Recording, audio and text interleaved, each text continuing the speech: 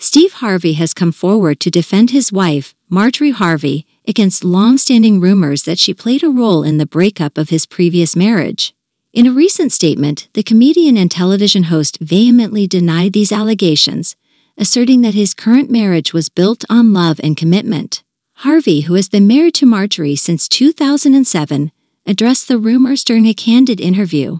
He expressed frustration with the ongoing speculation and defended his wife's reputation, emphasizing that she was not responsible for the end of his second marriage. Rumors about Marjorie's involvement in the dissolution of Harvey's second marriage have circulated for years. Some have suggested that their relationship began before his divorce was finalized, which Harvey adamantly denies. He stressed that his relationship with Marjorie began after he had already separated from his second wife, Mary Lee Harvey. During the interview, Harvey emphasized that he and Marjorie have a strong and loving relationship and he expressed his commitment to standing by her side.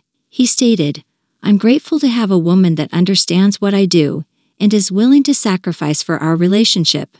The rumors surrounding Steve Harvey's past relationships have often overshadowed his successful career as a comedian, actor, and television host.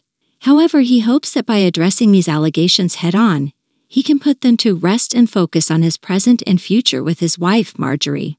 Harvey's statement has sparked discussions about the challenges celebrities face when it comes to maintaining their personal lives amid public scrutiny.